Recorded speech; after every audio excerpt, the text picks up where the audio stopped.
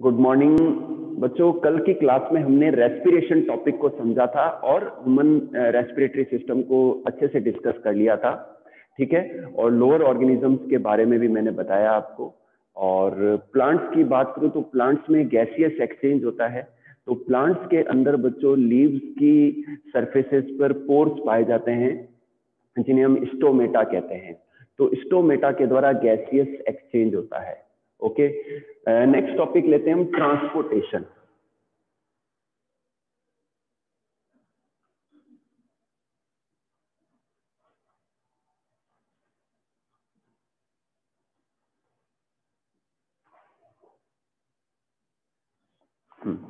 बच्चों what is the transportation transportation क्या है?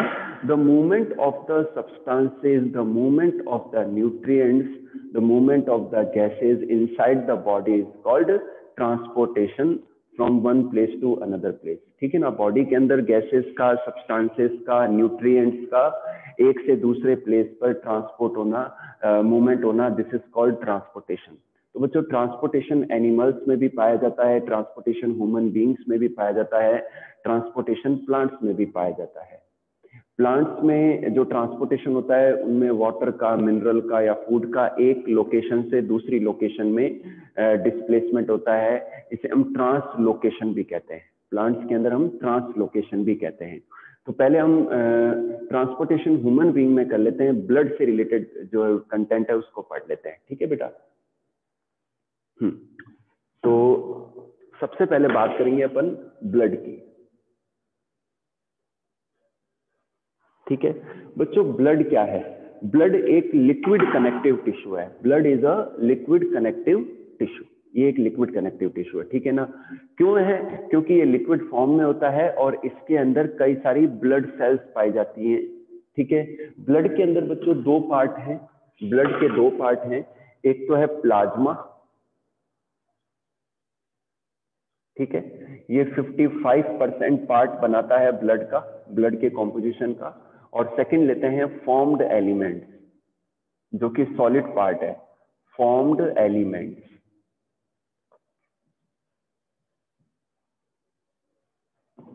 ठीक है? तो फॉर्म्ड एलिमेंट्स 45 परसेंट पार्ट है, ये सॉलिड पार्ट है। बच्चों प्लाज्मा की मैं बात करूँ तो 90-92 परसेंट तक वाटर होता है। उसके अलावा ब्लड की प्रोटीन्स होती हैं, जैसे कि एल्बुमिन ग्लोबुलिन फाइब्रिनोजन ओके और इसके अलावा सॉल्ट्स होते हैं मिनरल्स होते हैं। तो ये सब प्लाज्मा पार्ट को बनाते हैं। प्लाज्मा पेल येलो कलर का या वाइटिस कलर का होता है। जो सॉलिड पार्ट है, उसे हम फॉर्म्ड एलिमेंट कहते हैं, जो कि 45 परसेंट है और इनके अंदर ब्लड की सेल्स पाई जाती है। ब्लड में थ्री टाइप की सेल्स होती हैं RBCs red blood corpuscles डब्ल्यूबीसीज white blood corpuscles and platelets okay तो ये तीन टाइप की जो सेल्स है ब्लड के अंदर पाई जाती है। हम यहाँ पर डिस्कस करेंगे next topic blood circulatory system blood circulatory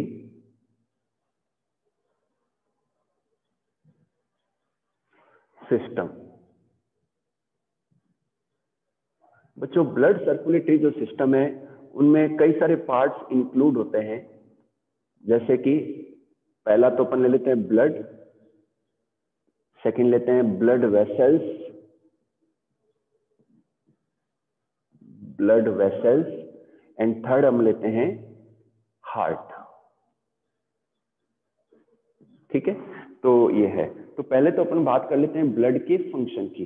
What is the what are the functions of blood बच्चों ब्लड के द्वारा ऑक्सीजन का ट्रांसपोर्टेशन होता है। ब्लड के द्वारा कार्बन डाइऑक्साइड का ट्रांसपोर्टेशन होता है। ब्लड के द्वारा न्यूट्रिएंट्स का ट्रांसपोर्टेशन होता है। ब्लड के द्वारा वेस्ट प्रोडक्ट्स का वेस्ट सब्सटेंसेस का ट्रांसपोर्टेशन होता है।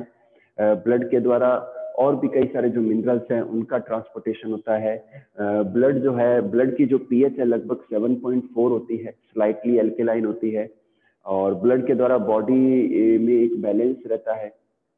ठीक है बेटा तो ये तो है ब्लड के फ़ंक्शंस अब बात करते हैं ब्लड वेसल्स की। बच्चों ब्लड के फ्लो होने के लिए हमारे बॉडी के अंदर फाइन ट्यूब्स पाई जाती हैं, जिन्हें हम ब्लड वेसल्स कहते हैं। और ये ब्लड वेसल्स थ्री टाइप की होती हैं। ये ब्लड वेसल्स कितने टाइप की होती हैं? थ्री टाइप की। सेकंड हम ले रहे हैं blood vessels blood vessels okay और these are of three types arteries वैसे हायर क्लास में डिटेल में पढ़ेंगे आप इसको। आर्टरीज एंड सेकंड हम लेते हैं। वेन्स आर्टरीज वेन्स और थर्ड कैपिलरीज।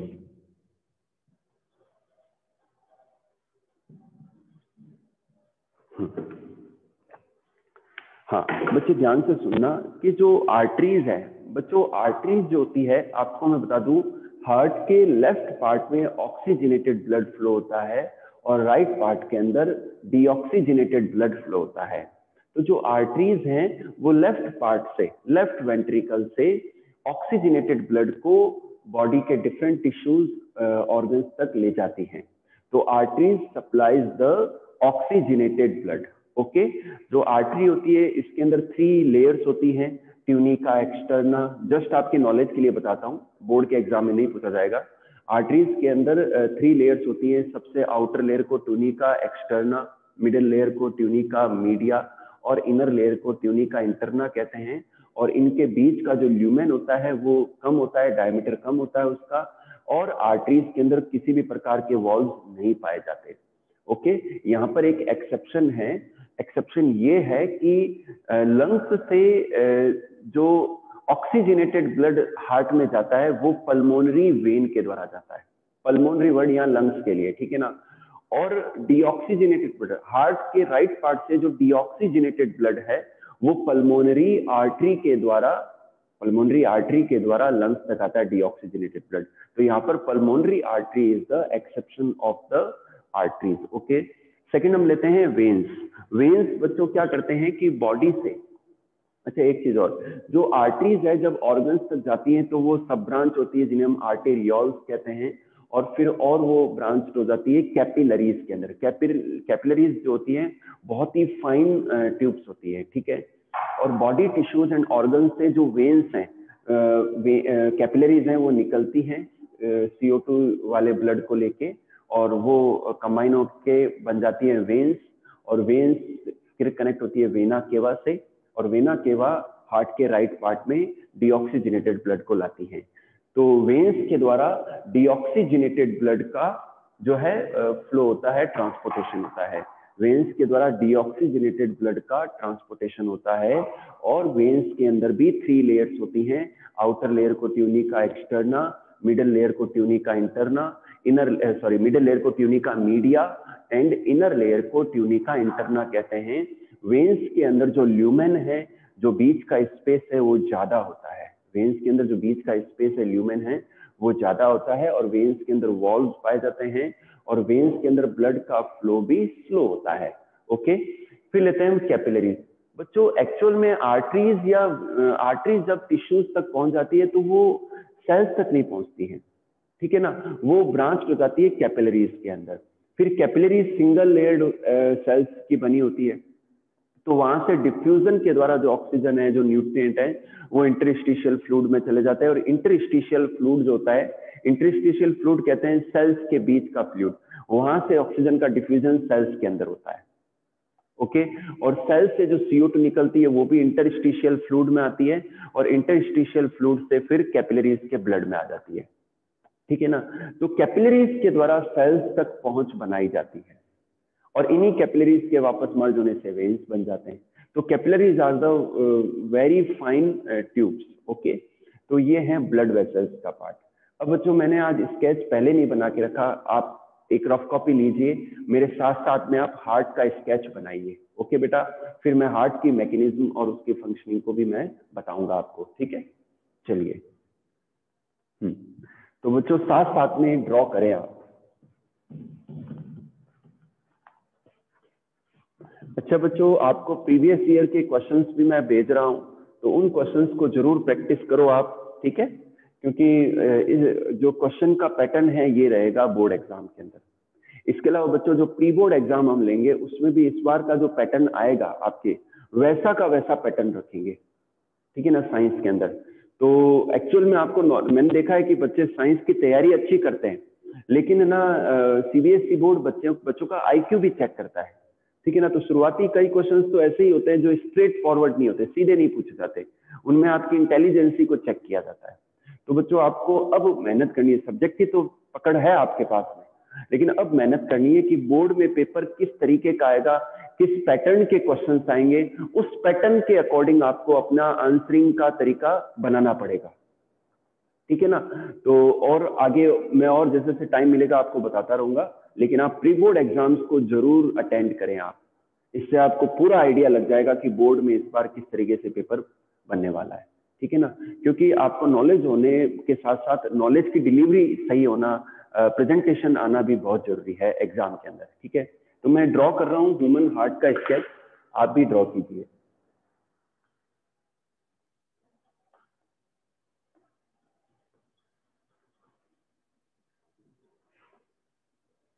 थोड़ा सा स्पीड से बनाऊँगा मैं।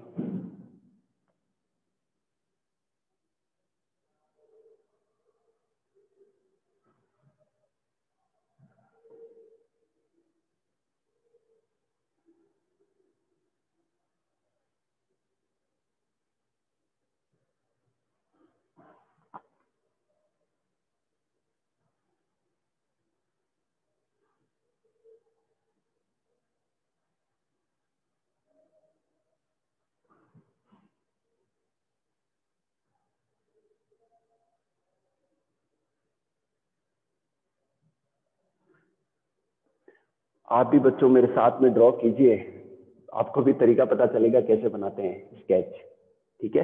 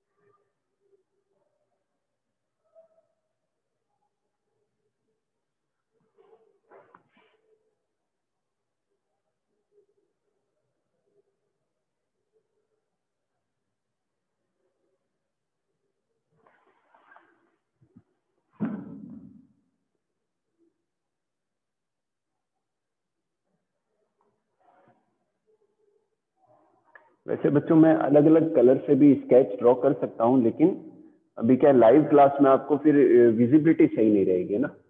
हो सकता है कुछ कलर आपको दिखाई ना दे सही से इसलिए मैं ब्लैक मार्कर ज़्यादा यूज़ ले, लेता हूँ।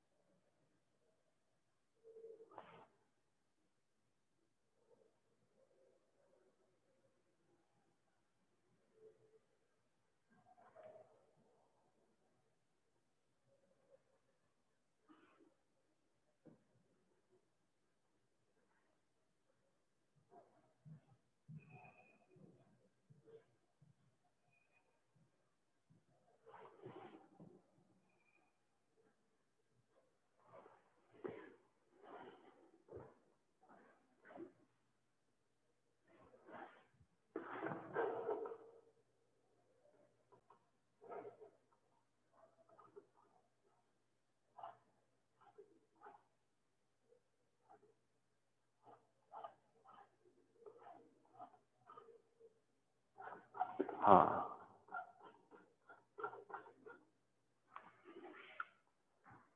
हम्म, ये है एओटा। और ये है pulmonary.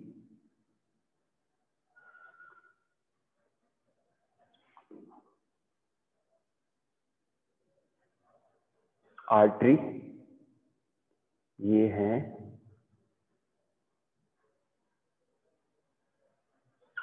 pulmonary vein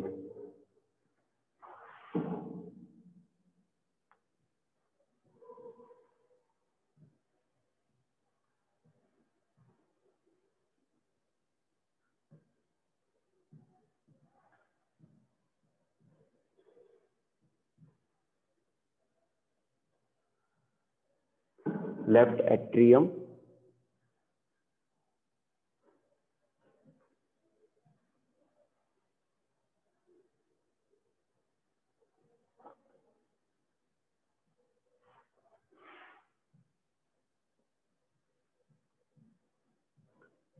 left ventricle बस बच्चों लास्ट ये थोड़ा सा लेबल करके अपन मैं मैं आपको एक्सप्लेन कर देता हूँ सारा। बंडल ऑफ़ हिज ओके और ये हैं Purkinje fibres Purkinje fibres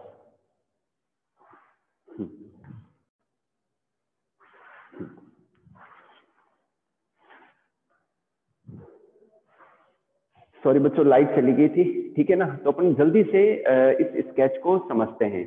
बच्चों, ये स्केच है ह्यूमन हार्ट का। ये राइट पार्ट है और ये लेफ़्ट पार्ट है। ठीक है बेटा? ये राइट एट्रियम है, जो अपर दो चैम्बर है इन्हें हम एट्रियम या ऑरिकल कहते हैं। तो this is the right atrium और ऑरिकल और ये लेफ़्ट एट्रियम और लेफ़्ट ऑरिकल है। ये ओपन होते हैं वेंट्रिकल्स के अंदर। लोअर दोनों चैम्बर्स को हम वेंट्रिकल्स कहते हैं। ये राइट वेंट्रिकल है और ये लेफ़्ट वेंट्रिकल है।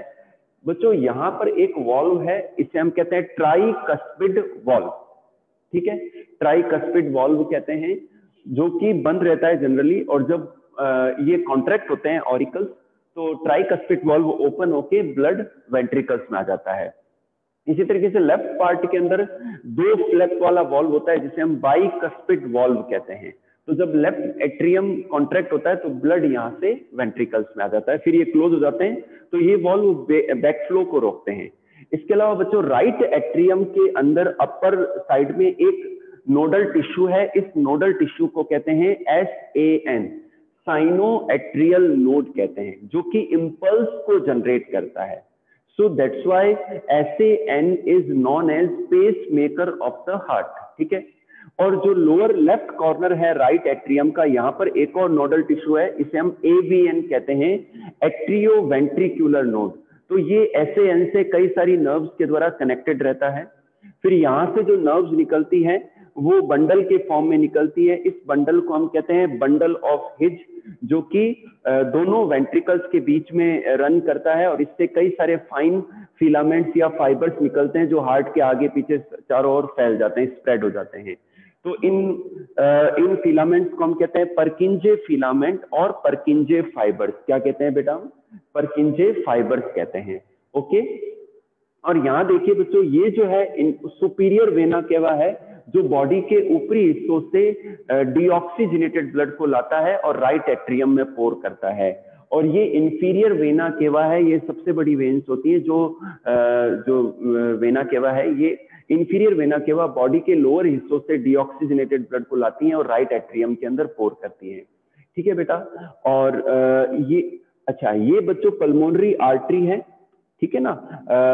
दोनों लंग्स में एक एक पल्मोनरी आर्टरी जाती है। इनकी टोटल दो पल्मोनरी आर्टरी जाती है, एक राइट लंग में और एक लेफ़्ट लंग में। जबकि लंग्स से दो दो वेन्स यानी कि टोटल फोर पल्मोनरी वेन्स निकलती हैं, जो कि लेफ़्ट एट्रियम के अंदर ऑक्सीजनेटेड ब्लड को लाती हैं। तो दो वेन्स लेफ़्ट लंग से और दो veins pulmonary veins right lung से ऑक्सीजनेटेड ब्लड को लाती हैं। तो ये बच्चों पल्मोनरी वेन्स हैं, ये पल्मोनरी आर्टरी है।